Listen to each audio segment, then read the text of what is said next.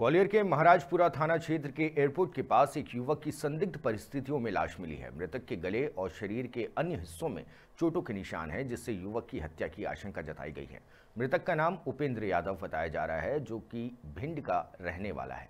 बता दें, पूर्व में मृतक के पिता की भी हत्या हुई थी। मामले पर पुलिस का कहना है कि पोस्टमार्टम रिपोर्ट आने के बाद कुछ धाराएँ बढ़ सकती हैं। फ़िलहाल महाराजपुरा पुलिस ने मर्ग कायम कर जाँच पड़ताल शुरू कर दी है।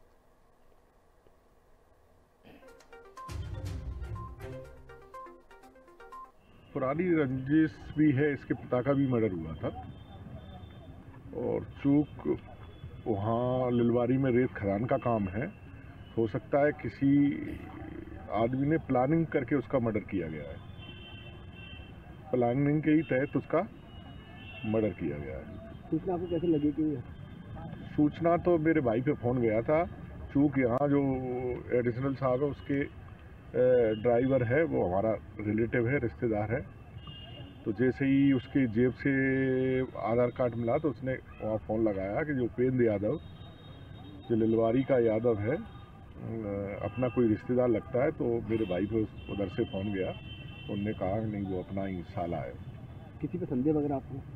संदेह तो है।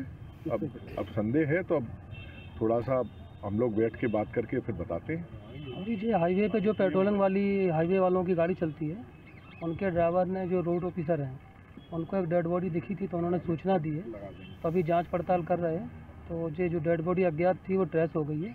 उपेंद्र यादव नाम का व्यक्ति है तेईस साल का जो रहने वाला भिंड ज़िले के ग्राम असवार में पड़ता है लिलवारी थाने में।